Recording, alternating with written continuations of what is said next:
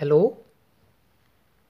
प्यारे बच्चों welcome in EVS class प्यारे बच्चों, आपका ईवीएस क्लास के अंदर स्वागत है। प्यारे बच्चों, जैसा आपको पता है कि हम ईवीएस के अंदर chapter number two the great Himalayas के बारे में पढ़ रहे हैं। प्यारे बच्चों, इससे पहले हमने फिल इन द ब्लैंक्स को पूरा किया था। प्यारे बच्चों, आज का अपना टॉपिक है right true and false right true and false हमें बच्चों, ये कुछ स्टेटमेंट दी गई है। हमें इन स्टेटमेंट्स को पढ़ना है और यह डिसाइड करना है कि यह ट्रू और फॉल्स है। और प्यारे बच्चों, इन बुक्स के अंदर अगर ट्रू है तो टी और फॉल्स है तो एफ़ का प्रयोग हम करेंगे। ठीक है बच्चों?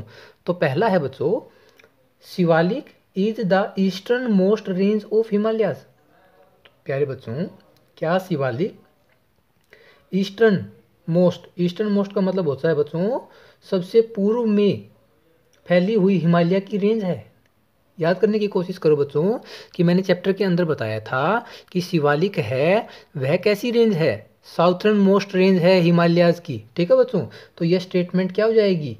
फॉल्स क्या हो जाएगी बच्चों? फॉल्स नेक्स्ट है बच्चों Himalayas range has many valleys और पासिस याद करने की कोशिश करो बच्चों, क्या यह सही है? यस ट्रू नेक्स्ट बच्चों, मंसूरी और Darjeeling lies in the Shivalik range क्या मंसूरी और दार्जिलिंग शिवालिक रेंज के अंदर हैं?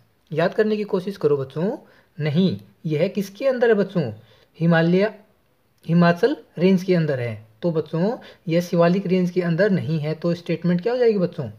फॉल्स नेक्स्ट बच्चों यमुना ओरिजिनेटेड फ्रॉम यमुनोत्री।